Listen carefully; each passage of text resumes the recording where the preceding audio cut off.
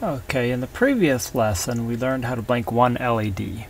However, that's not sufficient for me, so I looked in the um, sample programs on the thumb drive and saw the how to control six LEDs and it uses a loop statement. You can look at the programming on that. I'm not going too much into the programming the code. There's a lot of explanations on that, um, but you can tweak and play around with it.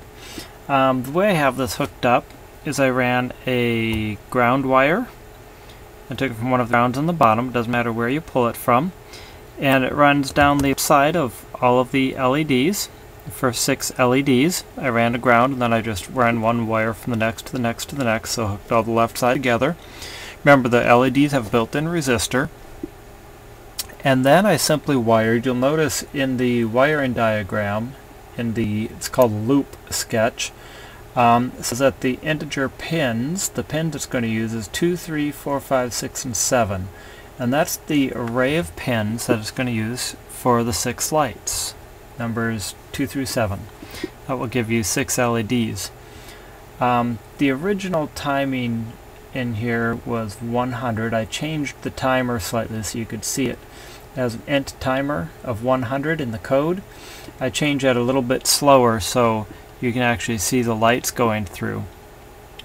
And this just sequences back and forth. Looks a lot like the Knight, Lighter Knight Rider type of lights that you may remember from the 80s. Well, what I'm also going to do is I want to add in a few more pins. Since I actually have a column of 10 pins, I'm going to go into my code and I will paste this sketch along with this demo. And I'm simply going to add in some pins. Oh, get my keyboard here and I'm going to add 6 we have 7 comma 8 comma 9 comma 10 comma 11 and I guess I could space this out make it look pretty. There's a space and a comma. Sometimes those are necessary and sometimes they are not. However in here it's just for aesthetics. And I'm going to change the number of pins from 6 up until 10 number of LEDs now I'm going to upload this code as it sits. Processor. And still only have six lights hooked up, but I'm going to quickly you the negative wires down here. Oh. Yeah, you see how it shuts off for a little bit and they put the timer back to a short time span. So now let me just hook in all the ground wires here on the left. I'm just continuing hooking the top one to the lower one and just running these ground wires all the way down. These ground wires probably a lot of projects we're using an array of wires. They're always just going to hook and kind of daisy chain together to make your connections.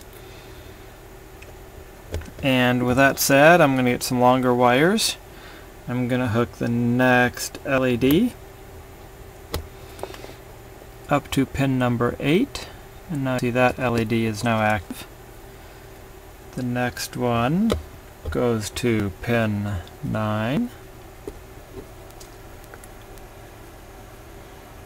Next one goes to pin 11. Oops, 10.